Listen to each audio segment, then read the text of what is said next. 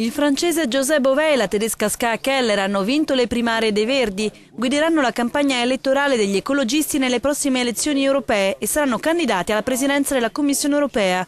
Solo 22.000 persone tuttavia hanno votato online. Speravo in una partecipazione maggiore, ha commentato Bové, noto per le sue azioni anti-OGM, perché sarebbe stato straordinario, ma del resto i Verdi sono stati l'unico partito a fare questo esperimento. Sconfitta l'italiana Monica Frassoni che ha denunciato le difficoltà di fare campagna nei paesi del sud Europa e vuole ora portare avanti il progetto Green Italia, il nuovo partito ecologista. Spiega Ska Keller, una delle più giovani deputate del Parlamento europeo. Ho trovato le primarie molto soddisfacenti, ci siamo divertiti, abbiamo lavorato tanto. Siamo stati in molti paesi europei abbiamo svolto dieci dibattiti ufficiali. Queste primarie mi hanno motivato ad incontrare i cittadini che sono verdi, che sono impegnati e vogliono fare queste elezioni europee.